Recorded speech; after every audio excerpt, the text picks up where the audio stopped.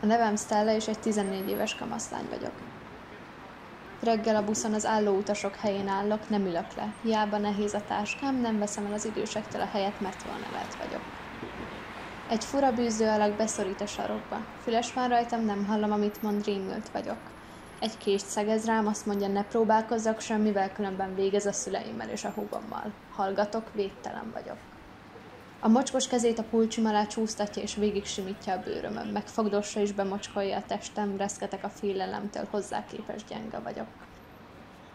Leszállok a szokásos megállóban, ő is leszáll és követ engem, a gyomrom görcsbe rándul, rohanok, de utolér és beráncigál egy félreeső utcába, már kiáltani sem tudok, erőtlen vagyok.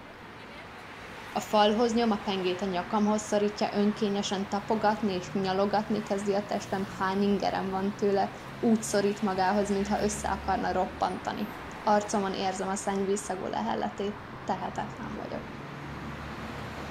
Kiszabadulok a karjai közül, berohanok az iskolába, a mosdóban, megpróbálom lemosni magamról az undorító ragacsos nyálat. A tükörben nézve megsemmisülök, pedig ártatlan vagyok. A szüleim szerint fogytam jó pár kilót, szeretném elmondani nekik, mi történt velem, de nem lehet, mert azzal veszélybe sodornám őket, a családom számára egy ketyegő bomba vagyok. Azóta az osztálytársaim azt hiszik, meghibbantam, a tanáraim megváltozott viselkedés címszóval megbuktatnak, a jövőmet akarják egyengetni, a semminek nincs jövője, és én legbelül semmi vagyok.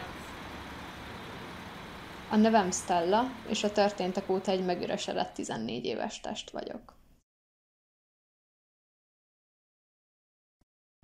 Azt gondolod, ezek biztos nem igaz történetek. És még ha azok is, te soha nem kerülnél ilyen helyzetbe.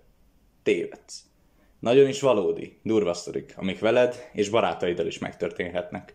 De mindig van kiút.